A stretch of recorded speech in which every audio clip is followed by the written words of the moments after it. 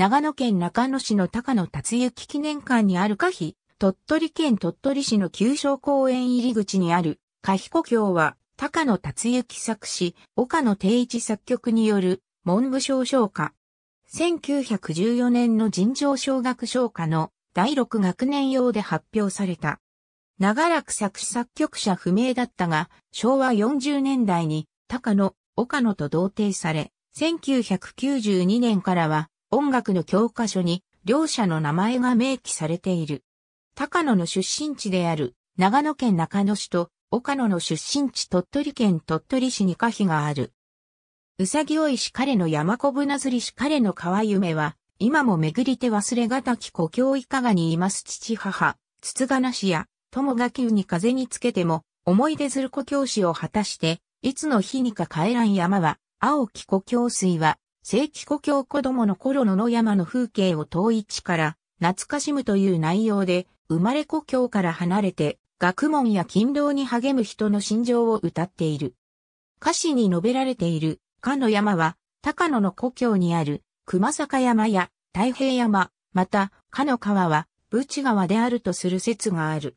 野党を追った、あの山や、小舟を釣った、あの川よ。今なお夢に思い、心巡る忘れられない故郷よ。父や母はどうしておいでだろうか。友人たちは変わりなく平穏に暮らしているだろうか。風雨のたびに思い出す故郷よ。自分の夢を叶えて目標を成就させたらいつの日にか故郷へ帰ろう。山奥水清らかな故郷へ。同じ作詞作曲者の手によるおぼろ月よ、春の小川等と共に文部省唱歌を代表する曲として今日も歌われている。現状は都庁庁で表紙は4分の3拍子である。EXILE ATSUSHI は初の配信シングル曲としてこの曲を取り上げ、ふるさととして2012年3月30日から配信した。このシングルの宣伝において、この曲は EXILE ATSUSHI 初の童謡カバーとして紹介された。 EXILE の作品に唱歌、童謡を取り上げた先例はなく、初めての試みとなった。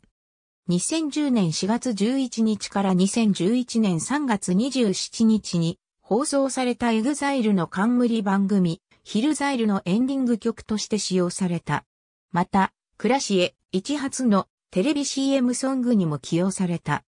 2013年5月1日に、 EXILE ATSUSHI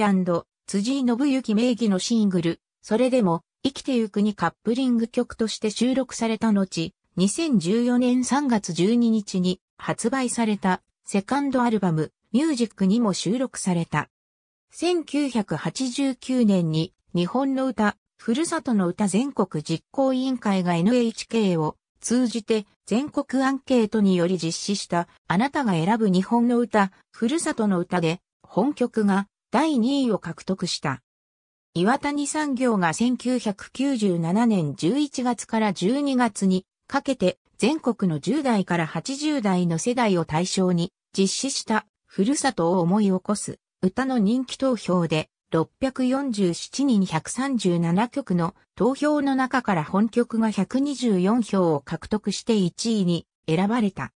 2003年に NPO 日本同様の会が全国約5800人のアンケートに基づき発表した好きな童謡で故郷は405票を獲得し第2位に選ばれた。前述した桑田圭介はかねてからこの曲を気に入っていることを述べており、ブルータス2011年3月1日号の企画、桑田が答えるで高須光義に今後歌を歌ってはならないという歌禁止令が世界で決まりました。最後に一曲だけ歌ってもいいと言われたら、どんな曲をどんなシチュエーションで歌いますか？と質問された際に、この曲に代表される小学唱歌を挙げ、できたら母校である茅ヶ崎市立茅ヶ崎小学校の昔の音楽教室で私の同級生たちと歌いたいなぁと述べるほどだった。また、前述の宮城公演でこの曲を演奏したシーンが、同ライブの中のハイライトだったとし、A メロの部分で観客とステージがギュッと共鳴した感じがしたと東日本大震災から10年後の2021年3月11日付の河北新報でのインタビューで語っている。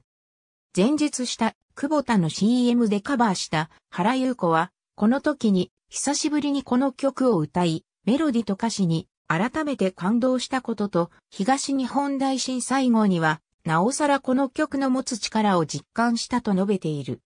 2004年に田中康夫長野県知事の下で制定された長野県ふるさとの森林づくり条例全文において、かつての豊かな森林が広がる新州の風景を表現したものとして、高野達之が作詞したことを明記した上で、歌詞の冒頭の一節を引用している。ザ・テンプターズのラストシングル、若者よ愛を忘れるなの中で、本曲の歌詞の冒頭部分が挿入されている。世紀末が爆裂世紀末名義で発布した小経典夏休み7月25日発布の一番冒頭で本曲の一節を引用している。高野達之の出身地の長野県中野市や岡野、定一の出身地の鳥取県鳥取市をはじめとして全国各地の防災行政無線の時報で使用されている。また、鉄道駅や社内放送、CM 等でも使用されている。過去の使用例。ありがとうございます。